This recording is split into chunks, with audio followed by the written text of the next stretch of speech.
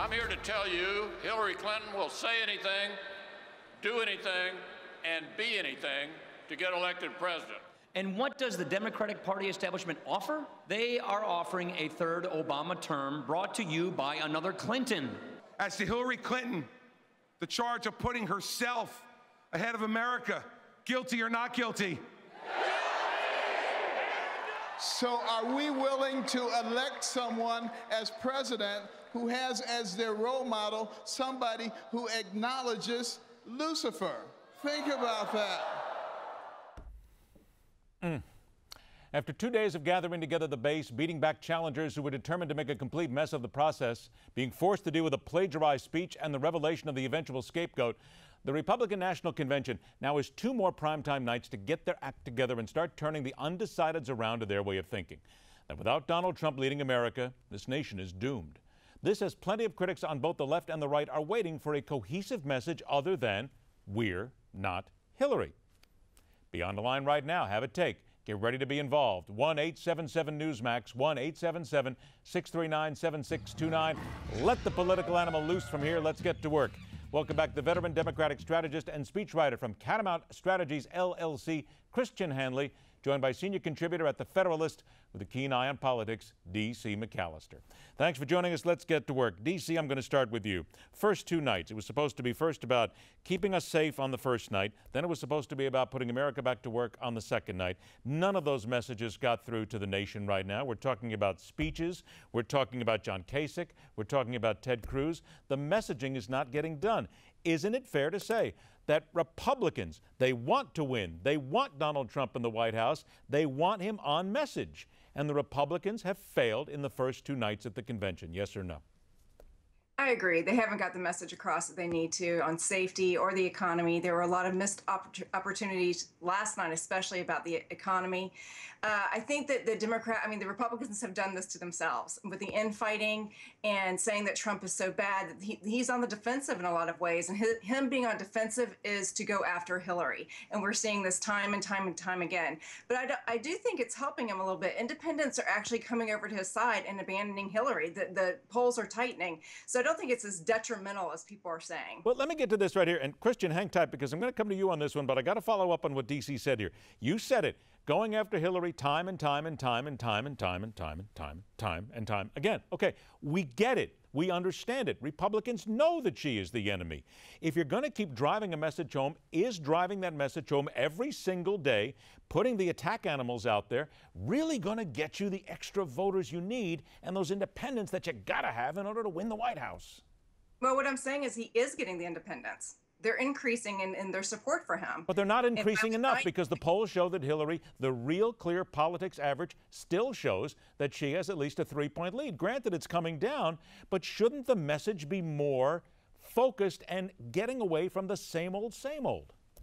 Well, I agree, but you also need to attack your opponent. And, I, and she has a record, a long record that needs to be attacked. I agree with you, though. There needs to be why to vote for Trump. But in this contentious environment that we have here coming out of, the, of this convention, it's not surprising that they're going after Hillary so strong. And don't think for a minute that Hillary's not going to attack Trump next week. She doesn't have much of a record to say that she's for, so she's really going to go after him as well. All right. So, Christian, let me come to you. Hillary Clinton criticized the Republican Party. And again, DC's right. Look, this is going to go on and on and on now until November. But saying that they were not discussing the economy on their Make America Work Again night. Matter of fact, she was tweeting, So, what exactly did we learn about Donald Trump's economic plan? The video shows multiple speakers with their mouths closed, not saying anything as part of her tweet. In your opinion, then, strategically speaking, what is Hillary Clinton going to do next week when the DNC gathers together, she pivots, and starts to go after these attacks?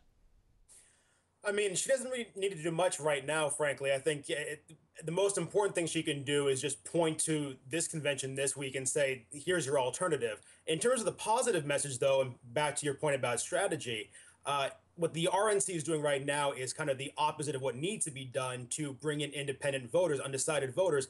And I think Hillary will do what's needed to be done, which is have a message of, of invitation, of, of equality, um, and a welcoming message that brings in undecided voters. The problem with consistently attacking one's opponent is that eh, for independents, for undecided voters, that's just acrimony. That turns them off. They want to hear a message of welcome, of invitation that will bring them into the fold, not more acrimony that will drive them away. And I think that's that's what Clinton will do. Granted, all that, and, and, and I'll give you all that. But doesn't Hillary Clinton sooner or later, Christian, have to start tackling down on these attacks against her? Doesn't she have to start addressing the potential lies, the alleged lies, the real lies, the comments that she has made, Benghazi, all these? Look, I get it that it's been done before, but doesn't she have to get onto this right now because people look at her, they don't trust her, they don't like her, they think she's almost a big as liar, uh, as big a liar as anybody else. She's got to get onto that sooner or later, doesn't she?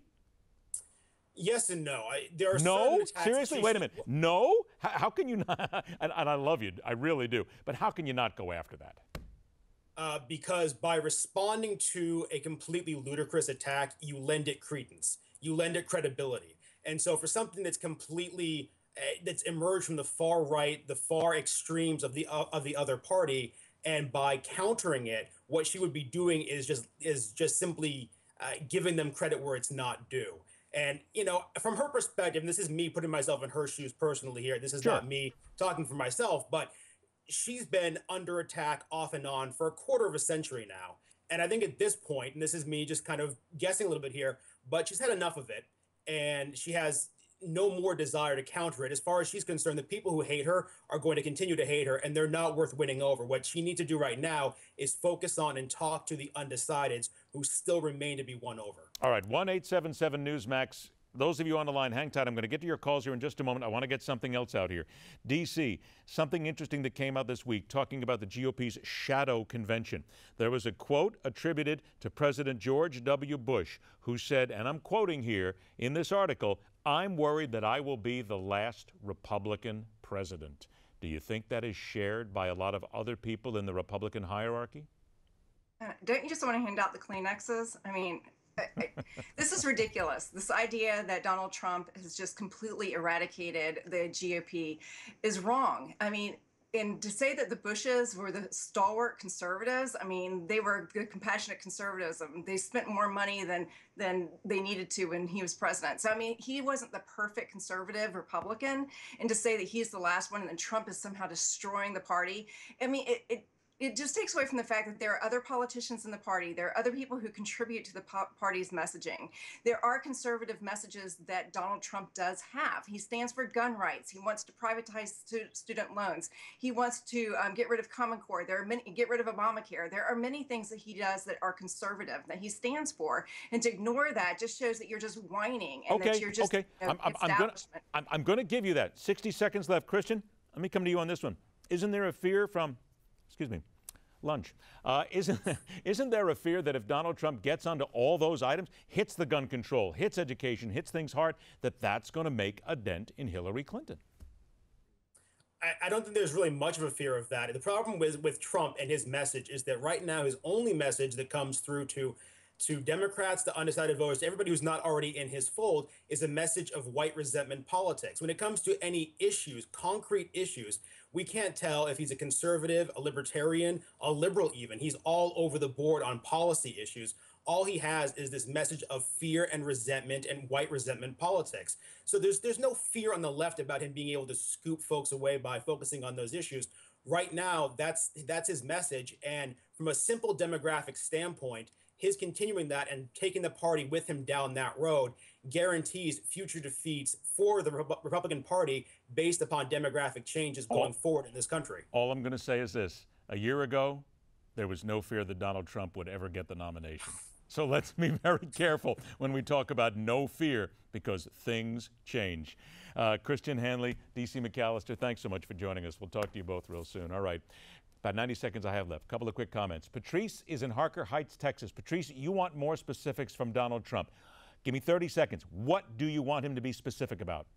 everything that he stated that he can do, like get more jobs. How specifically is he going to put a wall up? I mean, he talks about it. Now it's getting kind of close to the end where he can actually disclose his ideas. I know if he did it in the beginning, that Hillary probably would have killed every single idea that he came up with. But I think to win the rest of the people and for people to take him seriously, like myself, he he start he needs to start talking business. And there is a growing sentiment from a lot of Republicans, exactly what you have just said. Thank you so much for the call. Brenda, you're in Grove, Oklahoma. I only got 30 seconds left here. Let me ask you this Do you, as a Republican voter, not want Donald Trump to be more specific? Yes, I want him to, but I also believe that he will get the right people to be where they need to be to help him on the policies and everything. But what my main concern is, is for these Republicans that made a pledge to get themselves in there and help us to get him in office so that the Democrats do not win. If they don't vote for Donald Trump and and keep him in help us, then they're, they're just voting for Hillary and we're gone. Then that's what a lot of people are feeling as well today. Thank you so much for your call. All right. Wasn't this Republican convention supposed to tell us how to keep America safer, and why haven't they done that? General Michael Hayden will answer the call next. Plus, don't forget, 7 o'clock Eastern Time tonight, Steve Malzberg joins me. We bring you our special coverage of the 2016 Republican National Convention right here on Newsmax.